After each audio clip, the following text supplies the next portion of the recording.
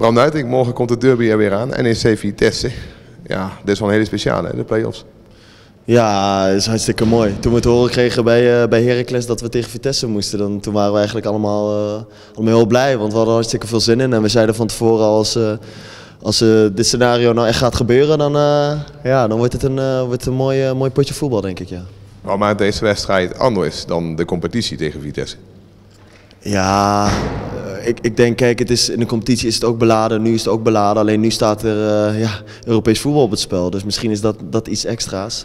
Maar ik denk niet dat, uh, dat, dat, dat, dat uh, deze wedstrijd in de play-offs of de competitiewedstrijd heel veel verschil maakt. Want deze wedstrijden zijn altijd beladen. Dus ja, ik denk dat het een beetje dezelfde beladenheid is als normaal. Het is natuurlijk al heel mooi dat we de play-offs hebben gehaald. En dat dan ook nog tegen Vitesse, dat kan niet beter.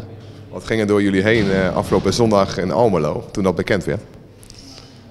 Ja, ik moet zeggen dat het nog niet helemaal... Uh, ja, we waren natuurlijk klaar en uh, ja, we kregen door dat we gewoon uh, play-offs gingen spelen. Daar waren we wel blij om. En toen in de kleedkamer hoorden we Vitesse. En ja, dan zien we op iedereen even van, hey, dat kan heel mooi gaan worden.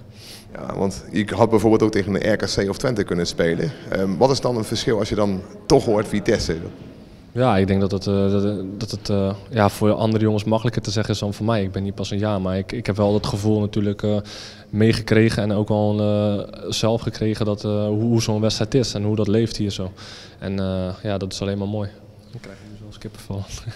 Je kunt niet ontkennen dat dat heel veel losmaakt. Ik bedoel, eerst was er al in de loop van de tweede helft natuurlijk heel veel opwinding, omdat de uitslagen de goede kant op gingen.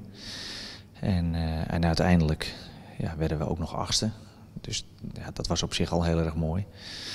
En uh, iedereen wist meteen dat als we achtste zouden worden, dat we dan tegen Vitesse zouden moeten spelen.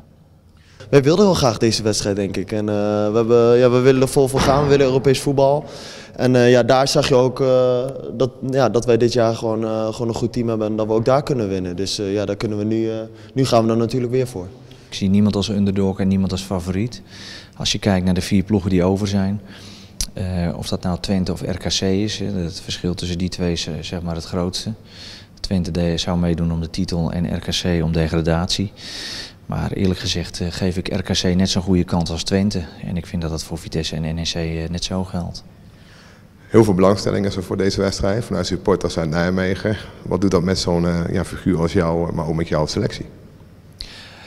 Dat is, eh, deze wedstrijden gaan erom, dus uh, dat, dat, zijn finales. Dat is al prachtig. Dat het dan nog tegen Vitesse is, dan, uh, ja, dat geeft toch wel extra cachet. En ik heb bij mezelf in ieder geval gemerkt dat in die twee competitiewedstrijden ik ongelooflijk van die entourage heb genoten. Zowel de dag voor de wedstrijd als op de dag van de wedstrijd. Ja, en ik verwacht niet dat dat heel veel anders zal worden in deze wedstrijden. Laatste keer Vitesse NEC, jullie wonnen met Arnhem, ongelooflijk veel geschiedenis geschreven. Neem je dat nog mee naar deze wedstrijd, dat gevoel, die herinneringen?